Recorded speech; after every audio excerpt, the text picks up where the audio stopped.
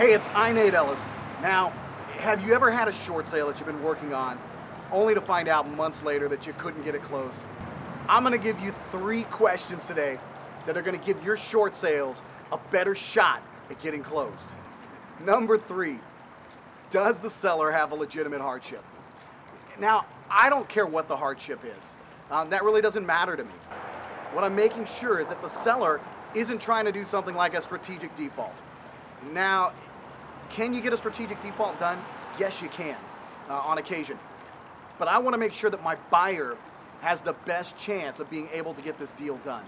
And someone doing a strategic default, that's a wild card.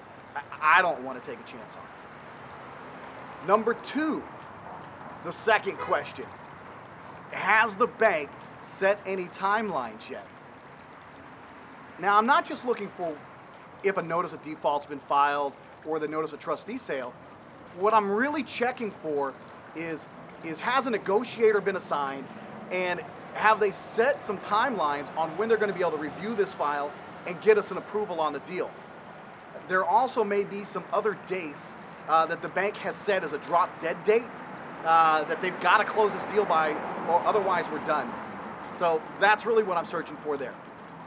And the number one question, the number one question, what? Hey, I'm sorry, we're out of time. Look, if you want the number one question, uh, you're going to need to come to the short sale and foreclosure resource course uh, from the National Association of Realtors.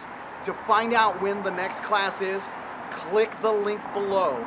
That's right, click the link below. It'll take you to the short sale and foreclosure resource course coming up in the area.